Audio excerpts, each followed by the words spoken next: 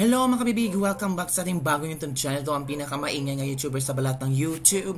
Ako si Kabibig, maglebak-lebak na town with evidence. Kung naalala nyo mga kabibig, na meron sinabi si VP Sara sa press con na meron siyang bidyong ilalabas hindi ito ang polvoron or kung ano-anong klaseng video, pero ito yung video na sasagot sa lahat ng haka-haka ng katanungan kung sino ang nag-manipulate, kung sino ang nag-control kina Franz Castro, Reza Hontiveros, at kung sino pa na kanyang minention, Sonny Trillanes. Nako mga kabibi, sabi ng iba, kabahan na kayo Marcos, kabahan na kayo Lisa, BBM, Martin Romualdez, manginginig na talaga kayo sa takot, sabi ng isang netizen.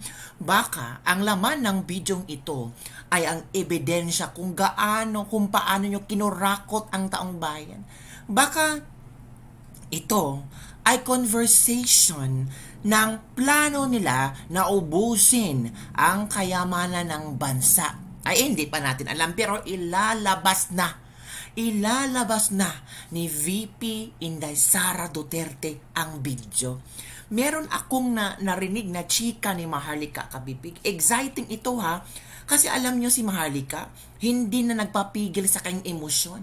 Galit na rin si Maharlika kay Amy Marcos. Noon, parang si Maharlika, may, medyo nirespeto pa niya si Amy Marcos, mero medyo calm down pa si Maharlika kay Amy Marcos, pero ngayon hindi na mapipigilan ni, uh, ni Amy Marcos si Maharlika. Banat kay banat, bulgar kung bulgar. Kaya bibig, manood tayo kay Maharlika. At eto na ha, alam pala ni Maharlika kung ano ang video nito.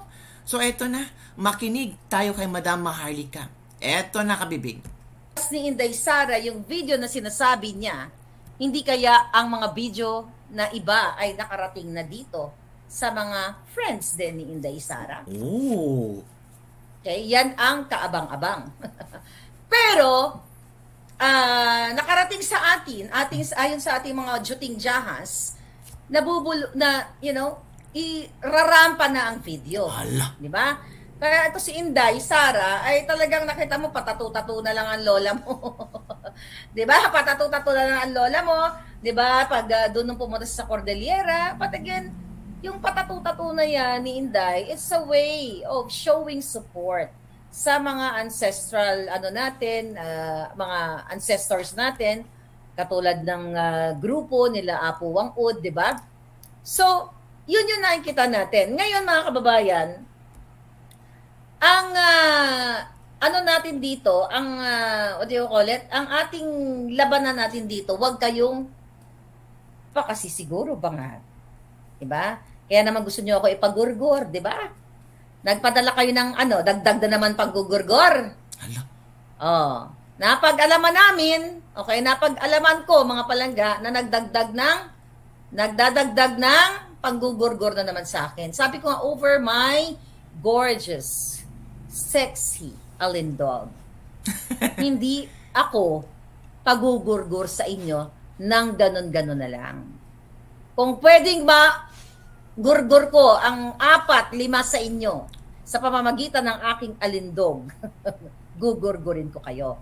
So you know what mga kababayan, uh, dahil nga ito papalapit na ang next itong election na ito, gusto nilang hawakan sa liig ang taong bayan sa pamamagitan ng ayudang-ayuda na yan. Tama. Kaya nga, kahit na ayaw ko man, sabi ko nga sa inyo, nag-usap kami ni Atty. Glanchong, ayaw ko mag-focus sana sa election season.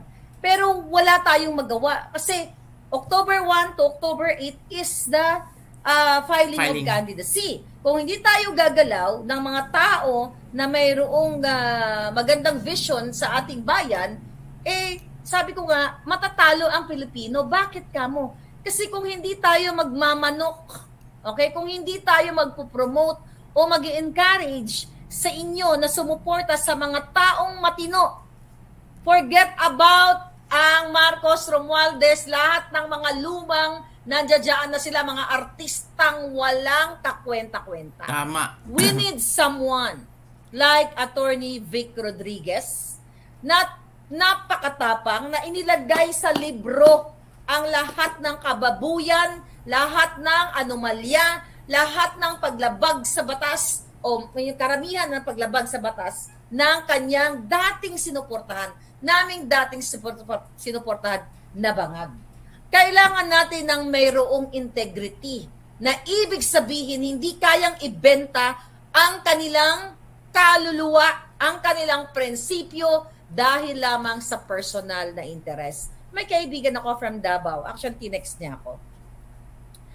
Okay, babasahin ko lang yung text ni Palangga.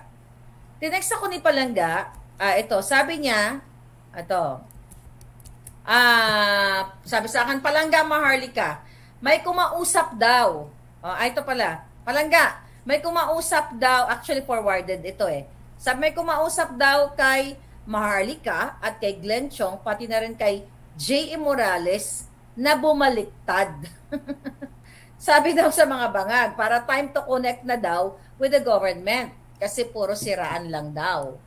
You know what? Mga kababayan, hindi, hindi I will speak for myself. Okay? At sabi ko na kay Attorney Glenn Chok, dahil kami, nag-usap kami, hindi hindi babaliktad ang isang maharlika sa kahit anong manghalaga para lunukin ko ang suka ko at para suportahan ang buwaka ng inang bangag, adiktos, kidnapper, smuggler, nagpapahirap sa kabanang bayan, kumobra sa what? 5,500 flood control, kumobra sa agricultural smuggling, kumobra sa loto, kumobra sa lahat ng confidential fund, lahat kinobra. Hindi po mangyayari yan. Ito nga ang sabi ko sa inyo. Once na si Maharlika, one day makita ninyo na nagsabi, Ay, I love you, bangag diba? Ibig sabihin, something wrong with me or nabayaran ako. But that's not gonna happen. Sabi ko, kahit sa uling patak ng dugo ko, hindi-hindi ako kailanman lulunok ng suka ko sa pagsasabi ng katotohanan na ang Marcos Araneta Romualdez ay salot sa lipunan. Bakit? Mismo si Lisa ay nagpakidnap ng dalawang bata. There you go, kabibig ha. Grabe.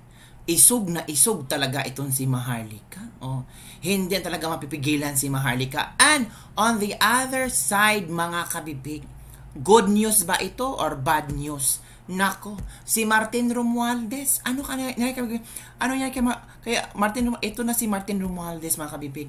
Oh, si Martin Romualdez ang nag-file ng COC sabi ni Martin Romualdez, ang patuloy na suporta ng ating mga kababayan. Oh, may suporta daw nakuha si Martin Romualdez sa ating mga kababayan. Sabi niya, oh, ang inspiration ko upang ipagpatuloy ang ating nasimulan.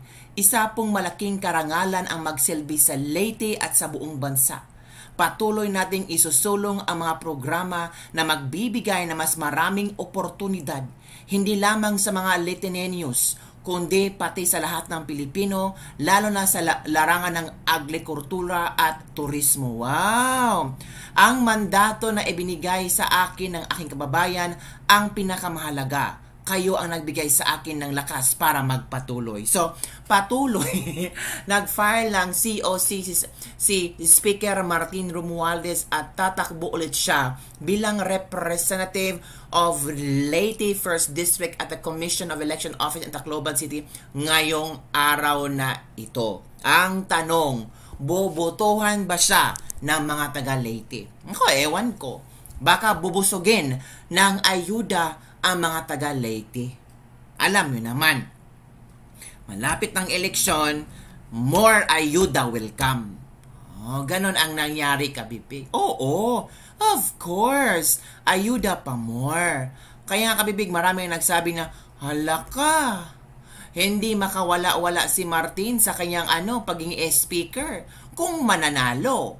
Kung hindi manalo, edi goodbye, Martin. 'Di ba? hindi goodbye Martin kung hindi mananalo, pero kung manalo, edi go Martin, 'di ba? Or yung kabibigaw. Yan. Very proud. In fairness ha, pag nakaitim si Martin, payat pala. Yan oh. Mm, 'Di ba? Hawak ng taong bayan kung itong si Martin ay mag makapa, manalo, manalo sa Leyte. Depende na sa tao, 'di ba? Depende na sa Comelec. Ah, depende na sa Comelec. depende na sa magic, mga kabibig. Diba? Depende na sa magic.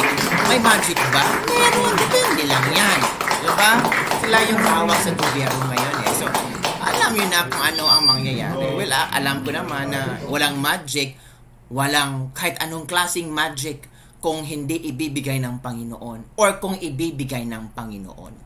Kaya mo kabibig, ano ang iyong reaction na parang ayaw, ayaw, ang tawag dito, AA pa rin si Martin Romualdez. Parang ayaw bumitiw si Martin Romualdez sa pagiging speaker. Kasi pag bibitiw siya, kasi pag tatakbo siyang senador, hindi siya mananalo eh. Hindi talaga. Kasi buong Pilipinas, oh, 'di ba? Trust rating niya, performance rating niya ang baba. Madaming galit sa kanya. Kaya naisip niya, kung tatakbo akong senador, of course hindi ako mananalo. Saan ako pupulutin? Pero kung sa Leyte lang ako tatakbo, pwede kong hawakan ang Leyte.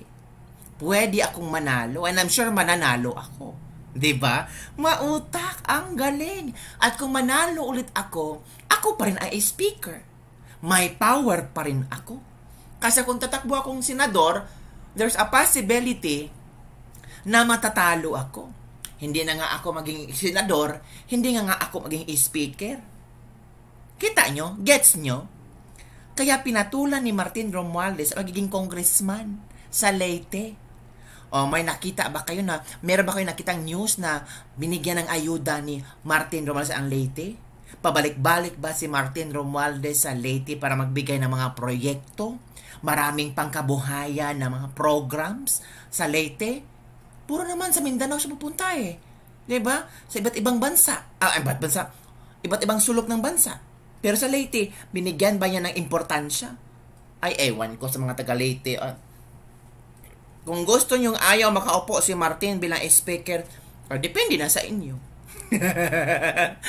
so, yun na nga kabibig eh. Ilalabas ni VP Sara. Baka, nako, baka ilalabas ni VP Sara sa panahon ng eleksyon.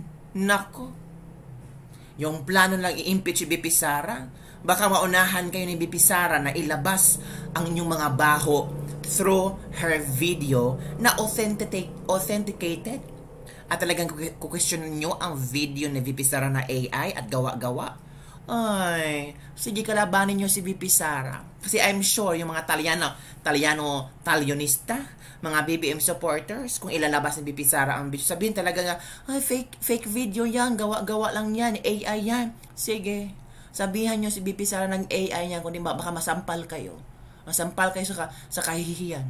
Baka ikaw pa ang question ni VP Sara, ikaw, AI ka ba? Or bangag lang talaga? Oh, yun mga kabibig. So, ang ganda ng strategy actually ni Martin Romualdez. Ang galing-galing niyang mag-strategize. Oo. Pero kahit gaano siya kagaling mag-strategize, malalaman natin kung ano ang kanyang pinaplano. Again, kung tatakbo siyang senador, nagsilabasan ng ngayon ang survey ratings, mababa ang kanyang survey, marami ang ayaw sa kanya, of course, hindi siya sasabak at pagiging senador kasi buong bayan ang boboto sa kanya. Pero kapag sa late siya tatakbo, of course, it's a possibility na mananalo siya. At mahahawakan pa rin niya ang pagiging House Speaker. ba? Diba? Gets nyo? So yun lang po mga kabibigang ating latest lebak-lebak for the day. Don't forget to like, subscribe, and share this video para sa mga latest trending news na ating pag-uusapan. Excited na ba kayong malaman kung ano ang laman ng video na ipopost ni VP Inday? Ay naku, ako din. Excited na excited na. Magkaalaman na kung sino man yung manginig at tataas ang high blood, bahala na kayo. Bye everyone. See you next time.